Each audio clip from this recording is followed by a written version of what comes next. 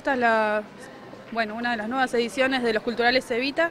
Como ya sabemos, bueno, también se da lo que es en deporte y bueno, está buenísimo que se den cultura, lo que es cultural y los chicos tengan un espacio para expresarse, ¿no? Lo que es danza, eh, música, bueno, entonces ellos pueden tener una instancia de competencia, que esto le va a llevar a, a una competencia provincial y después una nacional donde también se van a vincular con chicos de su edad que están en, el mismo tema, ¿no? vinculándose con, las artes, con la expresión, así que eso, esta instancia siempre es buenísima que pase en la ciudad.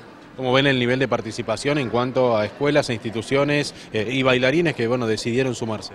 Sí, siempre la impronta está en lo que es danza y música, ¿no? Eh, hay nuevas disciplinas este año en la competencia como fotografía, eh, video minuto, que por suerte al ser nuevas se han anotado chicos para mostrar en esa expresión así que vamos a ver qué, nos presentan hoy. Eh, Melissa, importante seguramente poder contar con este espacio que, permite también que bueno, puedan estar más cómodos, un espacio amplio que, bueno, tiene todas las comodidades.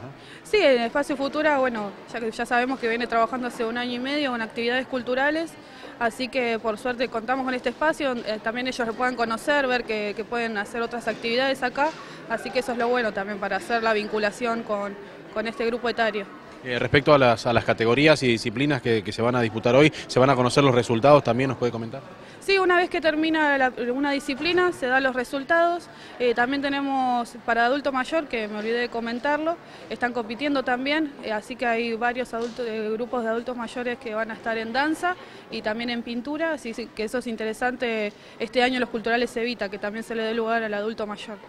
Propuestas, bueno, que, también vemos que está incluyendo a todas las familias, ¿no? que se acercan, que participan activamente. Sí, la familia que siempre apoya, acompaña, amigos, eso está bueno, así también ver qué, hace, qué hacen otros chicos, que también necesitan el público, ¿no? Para perder el miedo para lo que viene después. Eh, ¿Seguirán en este lugar próximas instancias? Eh, ¿Es lo único que se va a hacer acá? Esta es la instancia municipal, que bueno, de acá salen los competidores de Río Gallegos, cada ciudad tiene su, su competencia, ya estuvo cerrando la de Piedra Buena, San Julián, Río Turbio, así que de ahí va a salir los que van a ir a los provinciales destacar seguramente y ya para, terminar el trabajo bueno de todos aquellos que hacen posible esta propuesta ¿no? Sí, pese a bueno las condiciones, bueno, eh, lo que es educación, que algunos chicos no tuvieron clase, que bueno, eso también dificultó un poco estas instancias, pero a pesar de eso, que era uno de los mayores miedos, se presentaron igual, la misma cantidad y por ahí en otras disciplinas eh, como otros años, así que eso es, bueno, que todavía está el interés,